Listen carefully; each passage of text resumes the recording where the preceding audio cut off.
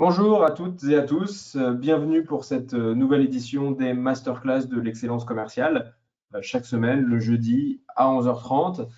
Et j'ai le plaisir de recevoir aujourd'hui Guillaume Berthollet, qui est fondateur d'Invox, également professeur d'entrepreneuriat à HEC. Bonjour Guillaume, merci d'être avec nous aujourd'hui. Hello, merci, merci de, de me donner l'opportunité de passer un petit moment avec vous. Avec grand plaisir. Alors aujourd'hui, on va parler de content marketing et plus précisément de comment est-ce que le contenu peut servir euh, la question épineuse euh, qui anime beaucoup de directions commerciales aujourd'hui, qui est la vente à distance. Euh, et en marketing, on conçoit beaucoup le, le, content marketing et le contenu comme un outil de génération de leads et finalement assez peu comme un outil d'accompagnement de la démarche de vente dans la suite. Et donc, on va essayer de voir aujourd'hui avec Guillaume comment est-ce qu'on peut on peut utiliser le contenu dans toutes les étapes du cycle de vente. Et avant de démarrer, euh, je voudrais déjà commencer par euh, vous remercier, vous remercier de votre fidélité parce que vous êtes aujourd'hui pratiquement 450 à vous être inscrits pour nous écouter. et je vois le compteur de participants là qui est en train de grimper. Donc merci à vous, merci de votre fidélité. Hein. ça fait plusieurs mois que vous nous suivez régulièrement tous les jeudis. Il y a un certain nombre d'entre nous qui sont présents jeudi après jeudi. Merci de votre fidélité et vous nous envoyez régulièrement des messages aussi pour nous, encourager et, nous, féliciter de la qualité du contenu. Donc, c'est très encourageant et on vous remercie. Et avant de, donner la parole à Guillaume aujourd'hui pour parler euh, de, contenu, euh, je voudrais rapidement prendre deux minutes pour euh, rappeler à tous ceux qui ne connaissent pas qui est Incentive. alors, Incentive, c'est né d'un constat assez simple qui est que dans la vie de tous les jours, quand on veut atteindre des objectifs, quand on veut se dépasser, quand on veut se transformer, quand on veut changer, euh, on a des applis hyper bien faites euh, pour nous aider à ça. Et on a un exemple très flagrant dans le monde de la course à pied, du running, avec des applications aujourd'hui qui se dépassent pour nous encourager, pour nous faire progresser, pour nous challenger.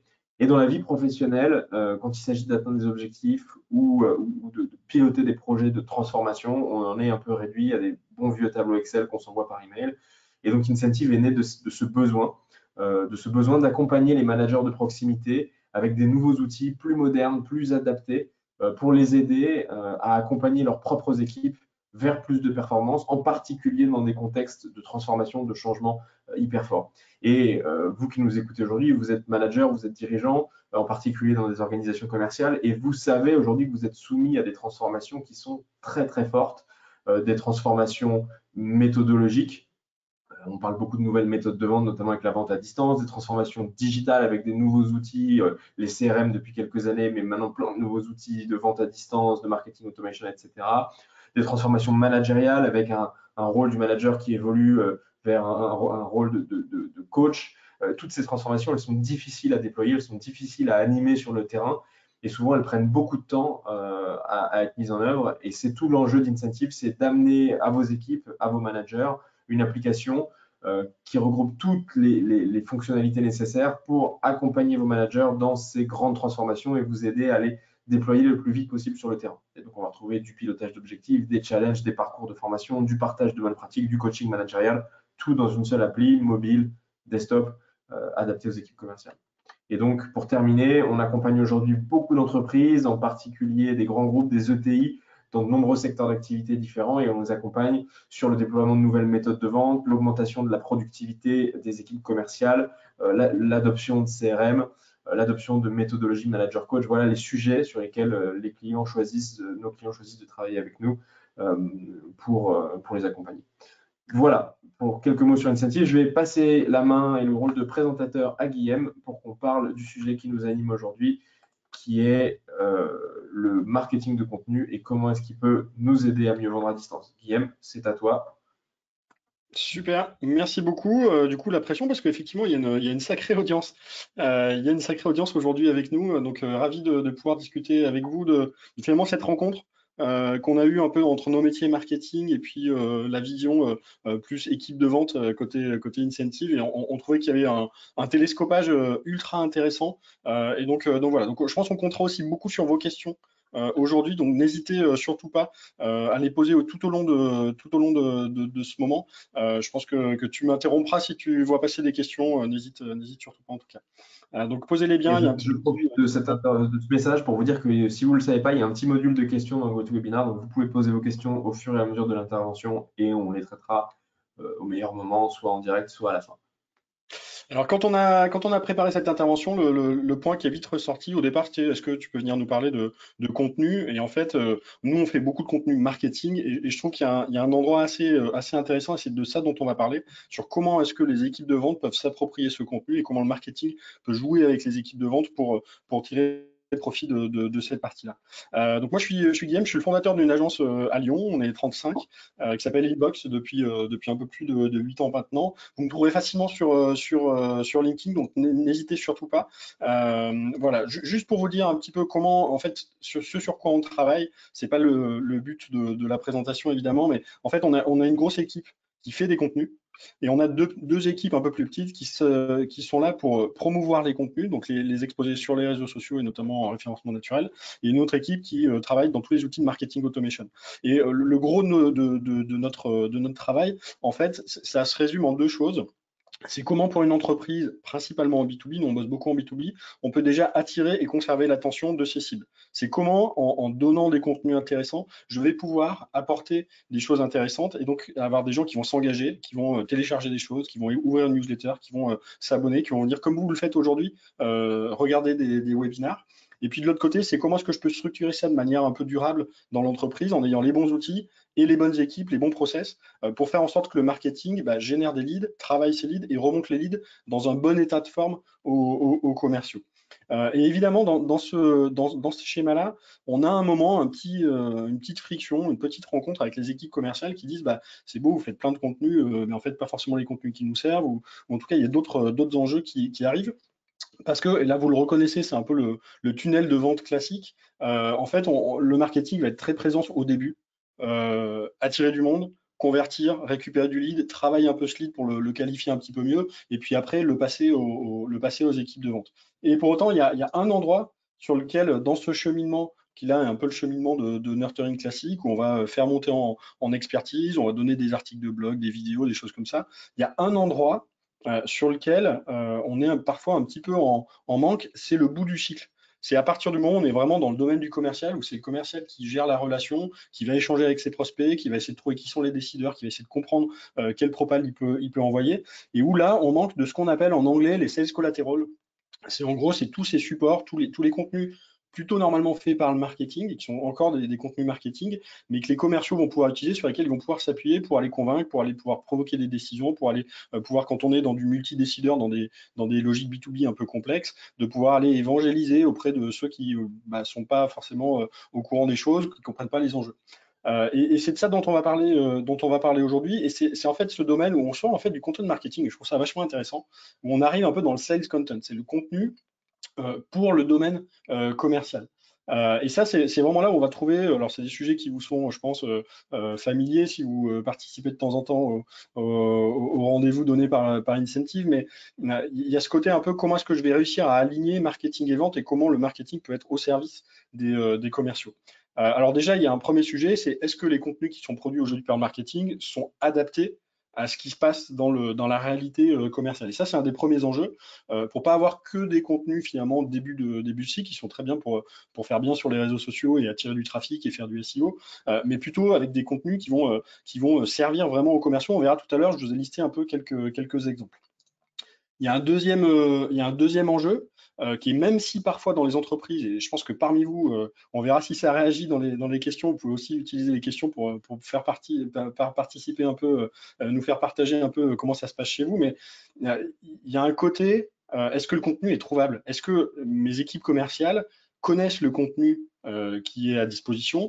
Est-ce que le marketing a mis en place des choses pour avertir quand il y a des nouveaux contenus qui sont là? Est-ce que dans l'onboarding des commerciaux, il y a un passage finalement de découverte de quel est le patrimoine de, contenu? Euh, Et comment est-ce que derrière, au-delà de faire en sorte qu'il soit trouvable, ce contenu, c'est pas toujours facile, même physiquement, de trouver la dernière version du, bon contenu, c'est est-ce, est est que ces contenus sont utilisés? Est-ce qu'on a une culture qui fait qu'on utilise les contenus?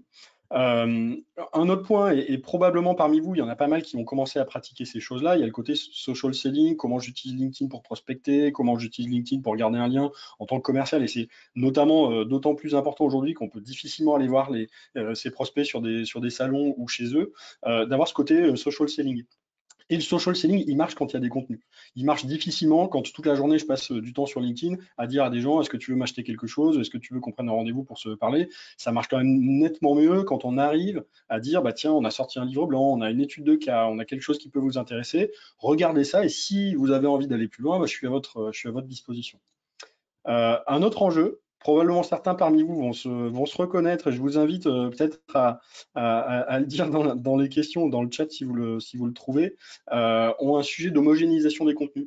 Alors ça, c'est plus l'homme de marketing qui parle, mais, euh, mais, il y a souvent un sujet, c'est que on fait des pitch decks, on fait des présentations, euh, ce truc-là est tordu un peu par les commerciaux. De fil en aiguille, au bout de quelques mois, euh, la marque, la façon dont c'est dit, euh, c'est complètement diversifié. et on a autant finalement de présentations et de contenu qu'on a de commerciaux quasiment dans l'équipe, avec parfois des trucs anciens, des trucs qui sont, sont plus forcément à jour. Et donc, il y a un sujet de maîtrise de l'utilisation qui est faite des, contenus et d'homogénéisation du discours qui peut, être, qui peut être fait. Tout ça pour aller chercher bah, quelles sont les meilleures pratiques et quel est le meilleur, le meilleur discours à avoir. Euh, et puis au final, bah, on a quand même cet enjeu de rapprocher sales et marketing et faire en sorte que quand il y a du temps qui est passé côté marketing pour produire des contenus, bah, qui soient idéalement euh, faits de bonne manière, qui donnent envie euh, aux commerciaux d'utiliser ces contenus et, de s'impliquer aussi en amont avant même qu'ils soient créés pour prioriser, pour dire qu'est-ce qu'on voudrait voir dedans, et notamment sur le sujet des, cas clients, on y, on y reviendra. Parce qu'au final, le but des deux équipes, c'est d'arriver à vendre euh, plus et à vendre plus vite, à raccourcir les cycles de, décision.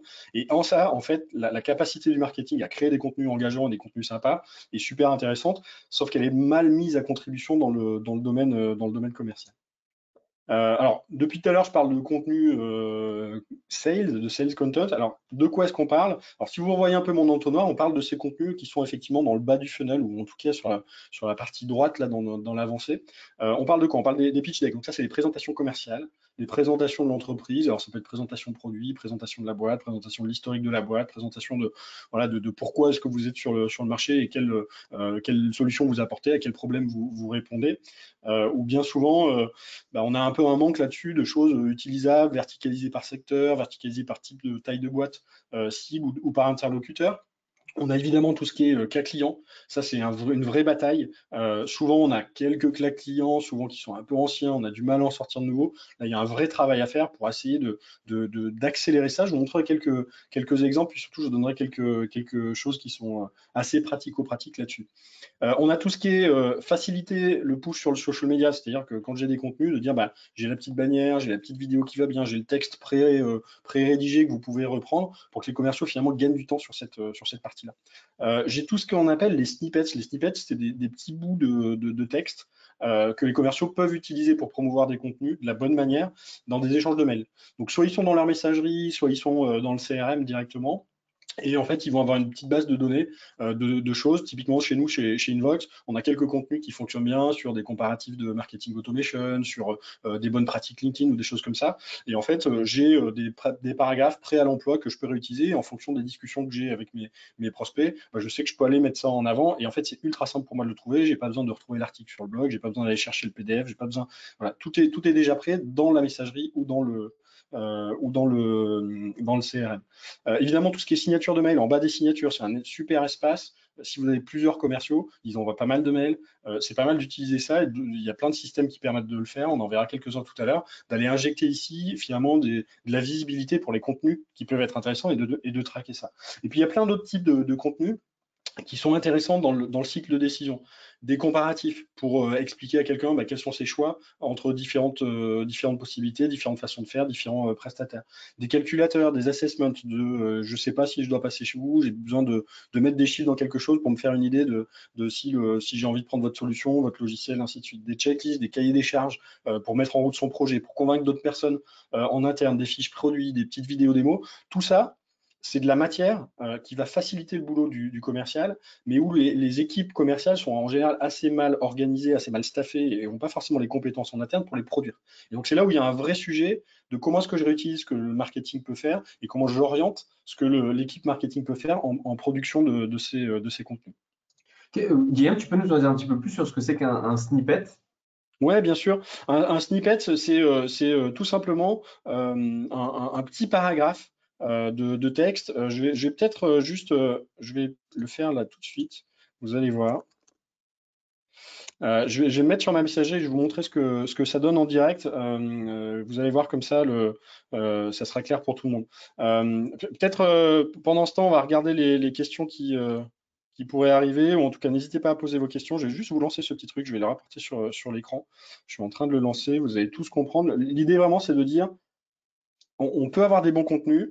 Par, contre, la façon dont les contenus peuvent être euh, mis en avant n'est pas toujours euh, exceptionnelle par les, équipes, euh, commerciales. Donc typiquement, là, je me mets dans la posture commerciale. Je suis dans ma messagerie, je viens de se raccrocher avec, quelqu'un. Tiens, tu, on va prendre quelqu'un de chez vous. On va prendre ton cher, ton cher et tendre associé, euh, et je vais dire, tiens, on s'est parlé de quelque chose. Ici, en fait, j'ai mon, mon, CRM qui est rapporté dans cette barre d'outils, donc nous, on est sur, sur HubSpot. Ici, j'ai mes snippets.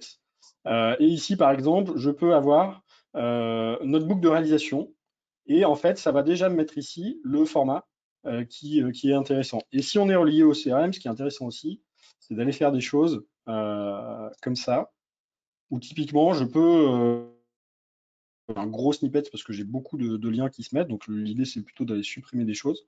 Euh, mais, euh, mais voilà, donc ça c'est vraiment comment est-ce que je rapporte euh, ces choses-là. Je peux le faire sur des morceaux qui sont intéressants. Donc typiquement là j'envoie une propale et là ce qui est intéressant c'est que vous allez voir que j'ai du, du texte pré-rempli que je peux utiliser avec toujours de l'injection de, contenu. D'accord. Est-ce que c'est clair pour vous? Parfait. Clair, euh, donc on parlait de contenu, à, quoi ça peut ressembler ces contenus sur lesquels on peut s'appuyer? Le, plus simple et, souvent hein, qui est prisé, c'est probablement un peu le côté euh, cas client, verbatim. Euh, comment est-ce que le marketing peut mettre en place, et ça il ne peut pas le faire sans des commerciaux, une, industrie à remonter du cas client du verbatim? Donc le, niveau 0 au niveau 1 du cas client, c'est j'ai un client, sa photo, son entreprise, son titre, et un petit blabla qui dit en quoi on l'a aidé, qu'est-ce qui a été utilisé. Et ça, ça commence à être des choses assez intéressantes. On le sait tous, hein, quand on est avancé avec un client, si on raccroche avec lui, c'est top de pouvoir lui dire, bah, tiens, dans votre industrie, on a bossé sur la même problématique pour cinq personnes. Regardez, elles sont contentes, elles ont parlé de nous. Si vous voulez, éventuellement, je peux vous faire une intro. Ça peut aller plus loin avec des interviews de certains de vos clients. Donc ça, c'est des choses assez simples à produire. On peut envoyer une liste de questions, euh, vos clients qui sont contents répondent. On produit rapidement un petit article ou des, choses à montrer. Et puis ça peut se faire sur des, par exemple des, cas clients avec des pages complètes. Donc là, on a plutôt un cas client complet qui va se faire sur, une page euh, et qu'on peut retrouver ici sur, sur différents formats. Et évidemment, qui peut donner lieu à des PDF et des choses comme ça. Donc ça, c'est un exemple euh, de, mécanique, un peu d'alignement entre marketing et vente sur la production de contenu. Et là où il faut derrière coacher et organiser les équipes de vente, c'est pour savoir comment est-ce que je l'amène, comment est-ce que je le mets en avant, où est-ce que je le trouve, euh, et est-ce que j'ai une bibliothèque de documents qui, correspond finalement au cas que, je vais rencontrer, euh, que je vais rencontrer chez, mes prospects. alors ça, ça vit dans la production de contenu. Aujourd'hui, on a moyen d'aller encore plus loin dans ces, dans ces mécaniques-là. Alors, il y a plusieurs choses qui sont intéressantes. La première chose, c'est qu'il y a des, des, logiciels aujourd'hui qui sortent, euh, qui sont des Sales Content Management Platforms. Donc, ce sont des plateformes de management, en gros, de bibliothèques de contenus commerciaux. L'idée, c'est quoi? C'est de se dire, peut-être les commerciaux vont aller faire le, job. Et souvent, d'ailleurs, la manière dont ça se passe, c'est que les commerciaux tapent, euh, moi, chez moi, c'est un peu le cas, ils vont aller dans Google, ils vont taper Invox, article, euh, social selling, ils vont aller trouver dans Google les résultats des contenus qu'on a pour aller les pousser euh, à, leur, contact. Donc, c'est complètement pas, viable sur la, durée. Donc, aujourd'hui, il y a des plateformes qui permettent de, faire quoi? Qui permettent, un, et c'est celle que vous voyez là, qui permettent de pour le marketing de créer la bibliothèque, de, classer les contenus qui peuvent être intéressants, et donc pour les commerçants derrière de les trouver facilement. Euh, et puis derrière de créer ce qu'on appelle des, hubs de contenu ou des pages euh, personnalisées. Donc finalement pour un client donné ou un prospect donné, je peux aller chercher une collection de quelques contenus, lui créer sa page avec son nom, son logo, et lui envoyer un lien dédié. Euh, où il aura les 4-5 contenus qui l'intéressent lui, avec un petit mot euh, de la part du, commercial automatiquement. donc ça fait une expérience de consommation de contenu qui est, assez intéressante. Et évidemment, tout ça c'est traqué, tout ça remonte dans le CRM. On sait si la personne elle, est allée voir un petit peu plus d'infos. Et souvent ça c'est des indices pour savoir si la personne elle est engagée, si elle a une prise de décision à faire, ou si finalement elle, faisait un peu du shopping, du lèche-vitrine pour faire maturer son idée, et où elle n'est pas, encore dans, la prise de décision. Et ça, souvent, on le voit, nous, on a le cas de gens à qui on discute, on va assez loin, on envoie du contenu, il se passe rien, quatre mois après, on voit que le contenu commence à être consommé. C'est juste qu'ils ont déterré le sujet et qu'ils commencent à se mettre en place. Et puis autour de ces sujets, un peu de contenu, il y a pas mal de choses qui, se passent, pas mal de choses autour de la vidéo. Euh, notamment dans notre contexte, hein, c'est compliqué de garder un lien et on sait quand même qu'un des jobs du commercial, c'est de créer, euh, de créer une relation. Aujourd'hui, il y a pas mal de, systèmes type Bonjour, euh, euh, Bonjour, Loom, qui permettent au commercial de faire des petites vidéos avec euh, bah, sa tête dans un coin et puis son écran qui est partagé pour dire tiens, je vous envoie une propale ou je suis passé sur votre site, j'ai vu que vous, faisiez ça, ça serait intéressant de se croiser pour recréer un peu ce, contact-là. Et encore une fois, bah, c'est du contenu qui peut être du contenu intéressant. Le marketing peut coacher les, commerciaux là-dessus et, apporter des choses assez intéressantes. Il y a évidemment tout ce qui est tracking de documents. À partir du moment où on va avoir du contenu un peu plus important à partager et qu'il est bien organisé, ben, l'intérêt c'est de traquer ce qui se passe. Donc d'envoyer euh, des choses avec du Tilty pour une solution française, du DocSend, du PandaDoc euh, si, euh, si, vous souhaitez faire, d'autres choses. Il y a tout ce qui est gestion de la signature, où vraiment, enfin, notamment, je ne sais pas parmi ceux qui nous regardent aujourd'hui s'il y a des, équipes commerciales qui commencent à, être assez étendues, mais souvent on a quelques dizaines, quelques vingtaines de commerciaux donc là, l'idée, c'est de se dire, bah, en fait, l'affichage que j'ai dans tous les emails qu'ils envoient, je vais pouvoir pousser du contenu, des cas clients, euh, des, choses intéressantes euh, pour, euh, pour en profiter. Il y a la logique du, de la récupération du verbatim. Là, il y a un vrai, vrai gros enjeu. On verra dans les questions-réponses si, si, si c'est un sujet qui vous excite autant qu'il m'excite moi. mais le sujet de la récupération du verbatim, du cas client et vraiment de l'industrialisation de la capacité, si dans l'année, vous avez 100 nouveaux clients, euh, de se mettre un objectif de dire il faut qu'il y en ait 50 qui fassent un cas client parce qu'il faut montrer ce truc-là et ça devient une puissance derrière de, conviction qui est, géniale. On a des outils comme du Trashfolio, c'est encore une solution française qui vous permet un peu d'industrialiser ça euh, et de rentrer dans vos process, bah, peut-être euh, quelques mois après la signature ou quelques semaines après la signature, de demander un avis positif et si l'avis positif est donné, derrière, de mécaniser pour dire bah, est-ce qu'on pourrait aller un petit peu plus loin pour récupérer un, cas client. Et puis évidemment, vous avez maintenant les plateformes type HubSpot, mais il y en a d'autres dans l'univers Il y a pas mal de choses qui, bougent aussi, euh, pour dire bah, en fait, marketing et vente, c'est un sujet qui est lié. Euh, il faut que ça s'injecte, comme vous l'avez vu hein, dans, mon exemple sur, ma propre boîte mail, euh, de dire, bah, en fait, je réinjecte des contenus dans la partie CRM, dans la partie commerciale. donc, ça aussi à regarder avec le CRM que vous avez aujourd'hui, s'il n'y a pas déjà des add-ons ou des possibilités d'aller stocker les contenus directement à cet endroit-là. Euh, voilà, je regarde un petit œil sur la montre parce qu'on avait, euh, on avait décidé de laisser quand même pas mal de place aussi aux échanges et aux, questions-réponses. Euh, je vous ai fait un petit, un petit, un petit best-of des choses assez pratiques, assez opérationnelles. Vous pouvez commencer à, noter des choses que vous pourriez tester chez vous pour aller vers ça. La première chose, c'est si vous avez des cas clients, j'espère que vous avez des cas clients, sinon il faut, faut, vous y mettre. mais en tout cas, c'est d'arriver à, faire une cartographie de ces cas clients. Alors, comment est-ce qu'on fait une cartographie? On fait en gros euh, par industrie, par taille de boîte, déjà en général, ça fonctionne pas mal. Et puis si on veut euh, rajouter une petite euh, notion, c'est si vous bossez sur différentes thématiques, nous, typiquement, on fait euh, du contenu, du marketing automation, du social media. En fait, les cas, ils peuvent tomber dans une case ou plusieurs. En gros, c'est d'essayer de mapper ça euh, pour donner cette visibilité-là. Euh, et au moins, alors ça peut prendre juste une forme de petit tableau Excel ou juste un truc assez visuel, de dire, OK, si tu as, toi, commercial, un contact qui est ETI, dans tel secteur avec la problématique internationale et qui a un besoin euh, de contenu, c'est ce cas-là ou ce genre de cas-là qu'il faut que, tu pousses. Déjà, ça, ça simplifie les choses.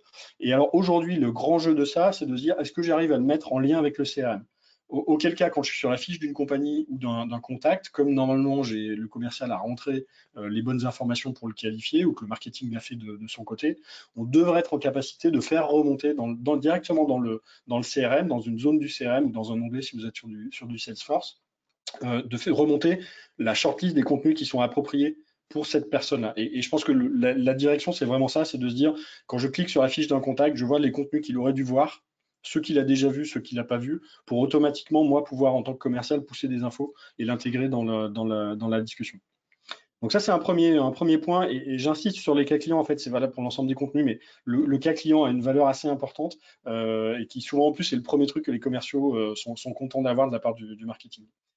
Euh, un autre truc assez opérationnel, on s'est rendu compte chez, pas mal de clients, euh, qu'en fait marketing et vente se parlaient souvent au niveau de la direction, moins au niveau des opérationnels, et que pour autant c'était intéressant que euh, le marketing euh, aille, alors je suis pas forcément chaque semaine, hein, parce que c'est pas forcément sur ce rythme-là, mais en tout cas au moins une fois par mois à, y mettre un pied dans la, dans rue commerciale où il y a les, équipes de vente pour dire Hello les gars, voilà les nouveaux contenus qu'on a sortis, voilà les anciens qui sont toujours intéressants, d'aller faire un peu la pub, finalement d'aller faire une petite promo des contenus qui existent juste pour en parler.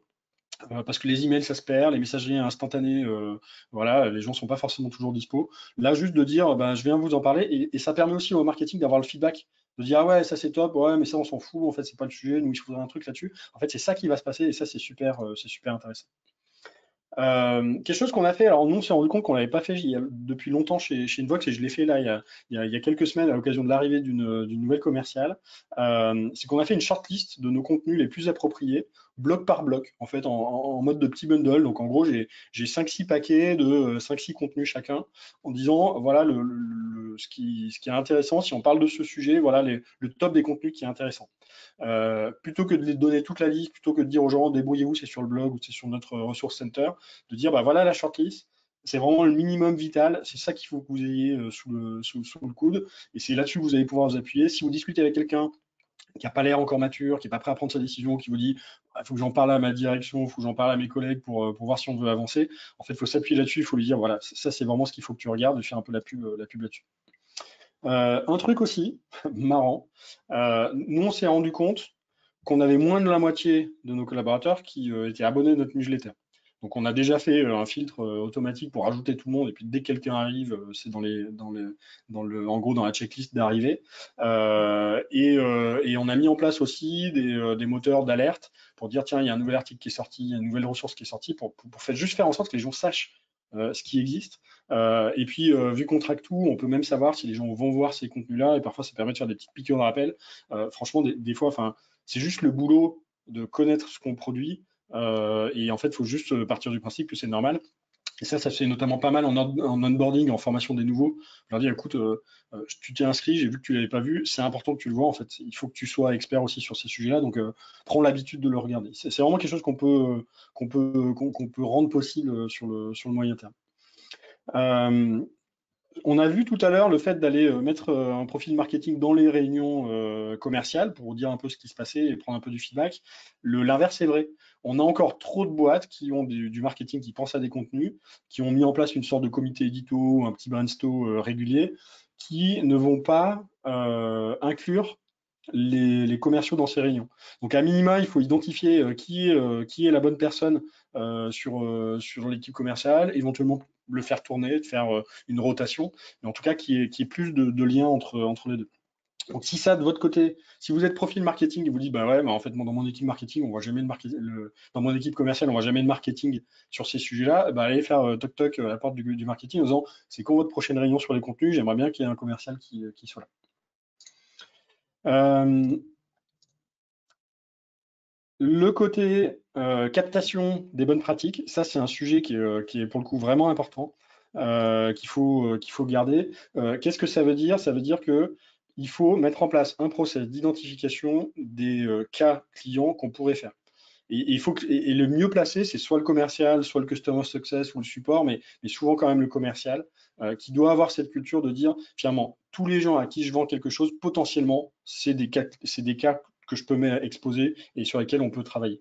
Euh, et qu'il y, ait ce côté un peu, c'est normal de demander. Si je ne demande pas à des gens s'ils ont envie de faire un cas client avec moi ou de faire un petit verbatim, ils diront pas oui, c'est sûr, enfin, ça, n'arrivera pas. Donc il y a vraiment un côté comment j'industrialise, comment je systématise ce truc, quitte à me prendre des portes, hein, c'est pas grave, de toute façon c'est des commerciaux, donc le nom, ils, arrivent à gérer.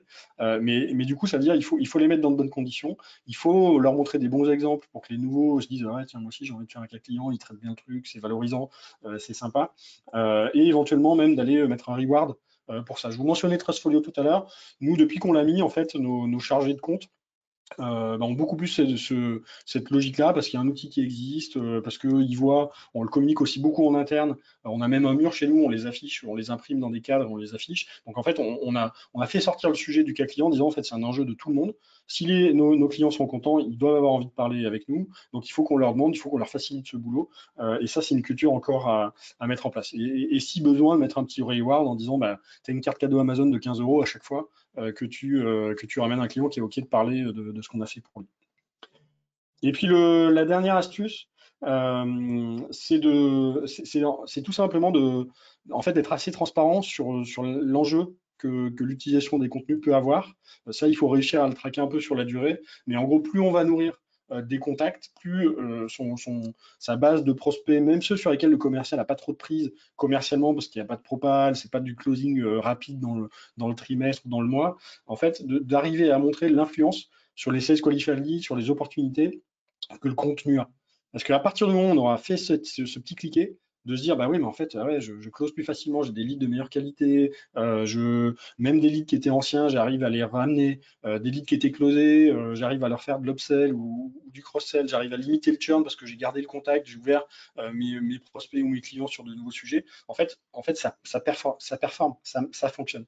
Par contre il faut réussir à leur montrer et leur dire bah c'est pas du temps perdu c'est pas on vient pas vous embêter on vient pas vous rajouter une casquette de marketing en plus de votre job commercial ça fait partie du job et ça a un impact pour pour l'entreprise euh, donc voilà, donc ça c'est des choses très pratiques pour commencer à aller vers ça. Ça résout pas le sujet de comment je crée le contenu et est-ce que mon contenu est bon. Euh, ça il faut le, voir en, lien avec le marketing. En tout cas, ça donne quand même, je pense, euh, quelques billes pour creuser cette, partie.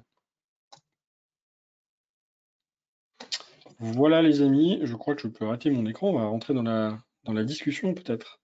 Merci beaucoup Guillaume pour ce contenu très riche, très détaillé, c'est génial. Et on a beaucoup de réactions, de questions. Alors je vais essayer d'en prendre quelques-unes euh, dans les minutes qui nous restent.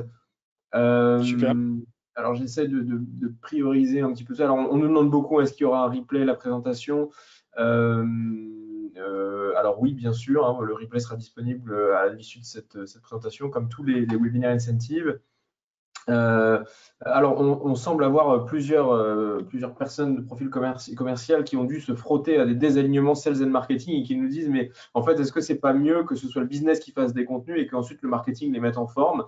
Euh, Et quelqu'un d'autre qui nous dit bah, en fait, il y a pas mal de contenus qui viennent du marketing qui sont hors scope, puisqu'en fait, le marketing est un peu déconnecté des réalités terrain. alors, est-ce que c'est deux questions en une, hein, mais c'est comment est-ce qu'on gère ce, ce, désalignement sales and marketing et, et comment est-ce qu'on laisse la place au terrain dans la création des contenus?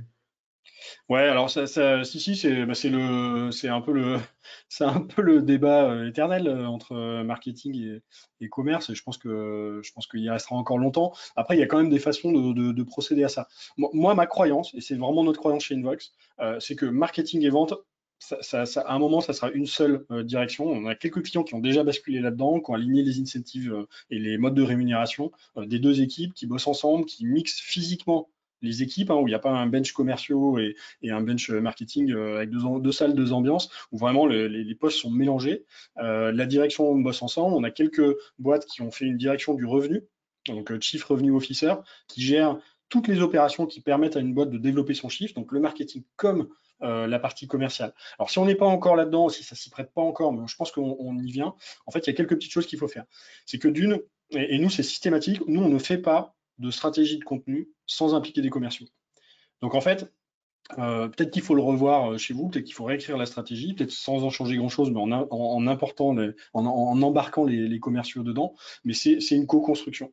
Il faut vraiment se poser ces questions sur tout au long. Quand on reprend un peu notre, notre entonnoir là, en fait, les contenus, ils doivent, ils doivent tout nourrir.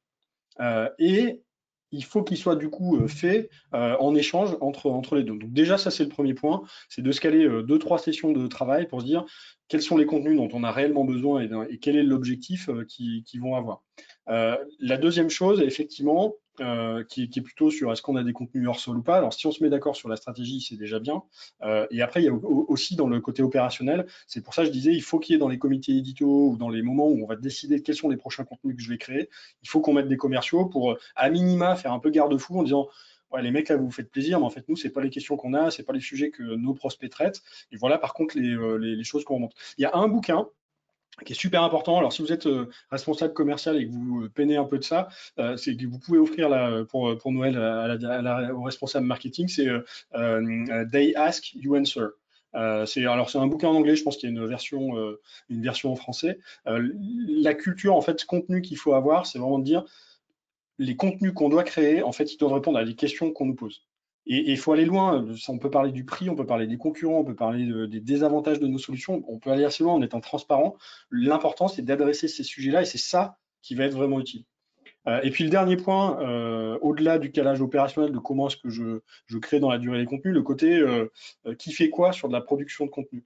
Moi, je suis convaincu qu'il n'y a pas une culture contenu, une culture marketing des contenus assez forte dans les équipes commerciales pour que l'équipe commerciale puisse le faire, le faire en elle-même parce que à l'inverse, parce que nous, on, bosse aussi avec des boîtes qui ont une culture marketing, des équipes marketing ultra réduites, voire pas de marketing, et c'est le commercial qui porte ces choses-là.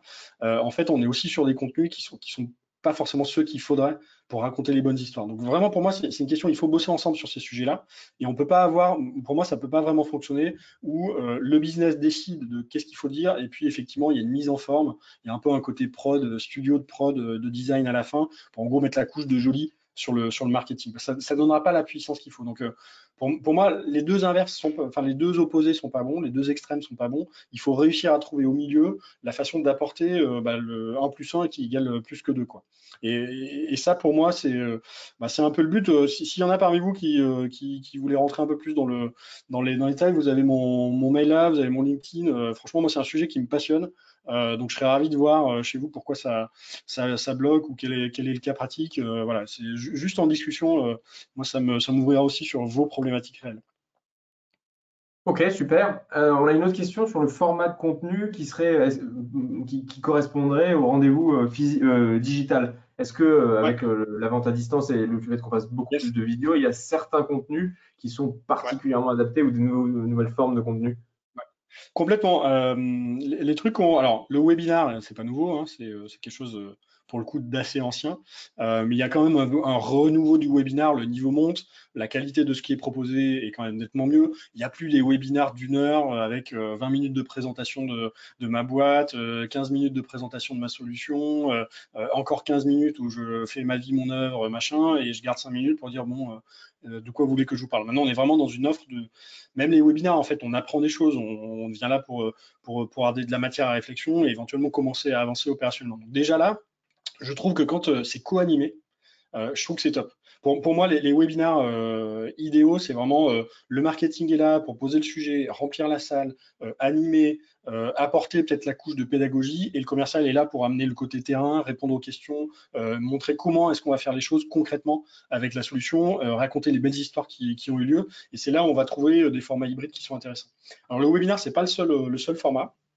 Il y a quelques autres formats qui arrivent, et notamment dans les business où la part d'éducation de votre marché est un petit peu important. Donc, tous les endroits où vous vendez des, choses complexes, des choses nouvelles, euh, pas des trucs qu'on peut acheter sur un coup de tête, euh, petit panier moyen, euh, limite self-service là-dessus, où il y a quand même un rôle d'éducation. je trouve que aujourd'hui, il y a des formats un peu de, de mise en place un peu d'université ou d'académie, où on va faire en fait du petit format vidéo. C'est pas du live, c'est pas du webinar. Euh, c'est du petit format vidéo explicatif. On va avoir tout un tas de, petites choses, éventuellement mises dans un cursus qui va d'un point A à un, point Z, de, A à Z avec différentes étapes, euh, pour dire aux gens, bah, je ne vais pas seulement vous parler de ma solution, je vais vous permettre de comprendre, par exemple, dans notre cas, le marketing automation. Nous, on bosse sur un, sur un truc. Euh, voilà, il y aura deux, heures, au total, deux heures de, choses à découvrir. Euh, pour dire, bah, voilà, vous pouvez rentrer là-dessus. Et ça, il faut le nourrir avec l'expérience euh, commerciale. Euh, on en a parlé aussi, les, petits formats plus one-one de bah, j'ai un prospect, ça fait longtemps qu'on ne s'est pas parlé, j'ai un truc à lui vendre, je veux le relancer, bah, je vais me faire moi une petite vidéo commercial. Moi, le commercial, je vais faire ma petite vidéo pour lui envoyer une, minute trente dans un mail. Il va cliquer, je vais le, prendre par son prénom, je vais dire bah, bonjour euh, Jean-Pierre, euh, ça fait longtemps qu'on ne s'est pas parlé. Donc ça aussi, c'est des formats qui arrivent et, dans lesquels il faut que le marketing donne un peu une trame pour que les, commerciaux se, sentent à l'aise. Et puis euh, dans les, dans, les ventes à distance, il y a alors la vidéo parce que les gens aiment bien regarder, mais je pense qu'on n'a pas perdu non plus le format. le, format lecture, le format écrit. il y a un peu le renouveau des newsletters qui se met en place aussi.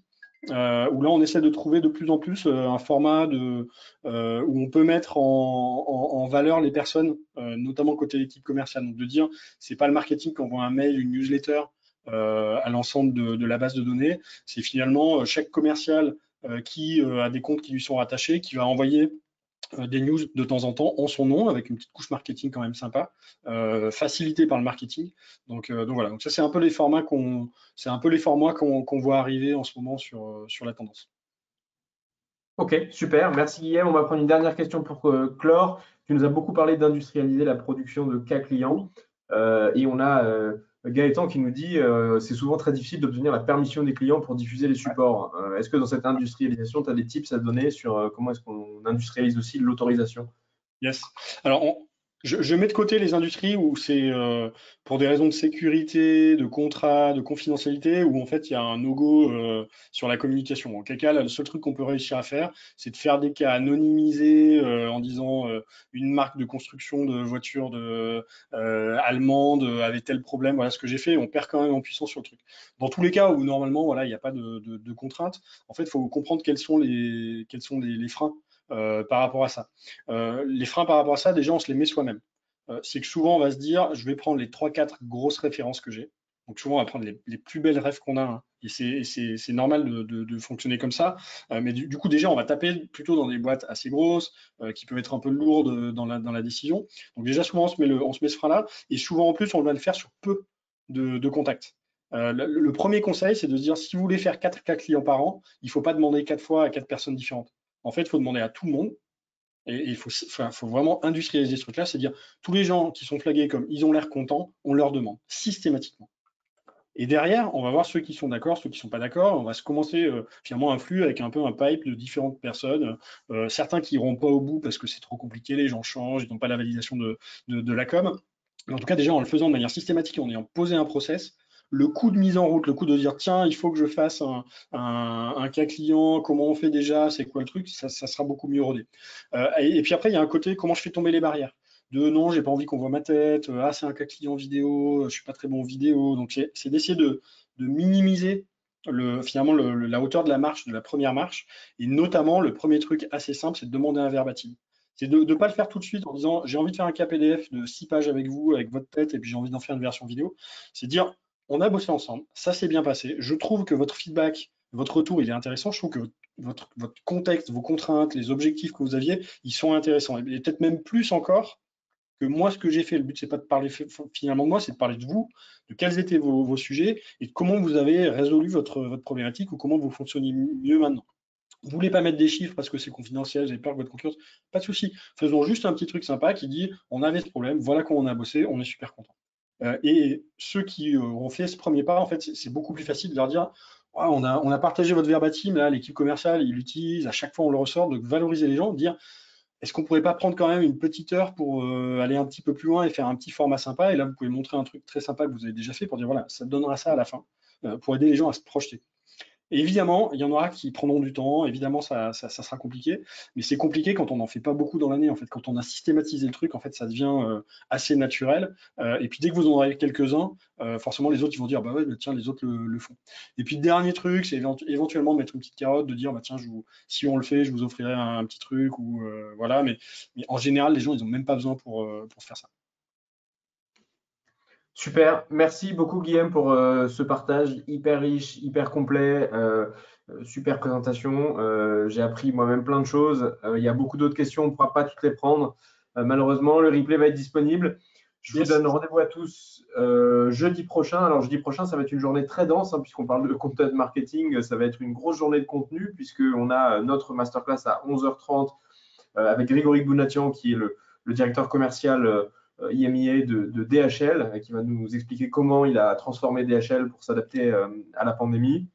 Et en parallèle de ça, jeudi prochain, c'est le B2B Summit qui aura lieu cette année en format full digital. Et donc, ça a lieu jeudi et vendredi. vous pouvez vous inscrire sur le site b2b-summit.com. deux jours de conférences, de tables rondes, d'interactions sur quatre grands sujets du B2B. Vous avez quatre tracks et vous pouvez vous inscrire. Et vraiment, comme c'est en digital, vous pouvez vous concocter le, le, programme euh, sur mesure. Donc voilà, vous pouvez vous inscrire, vous pouvez vous inscrire gratuitement avec le code INCE comme incentive INCE 20. Voilà, merci beaucoup Guillaume, merci à tous, belle journée, à la semaine prochaine. Salut, salut. Au revoir.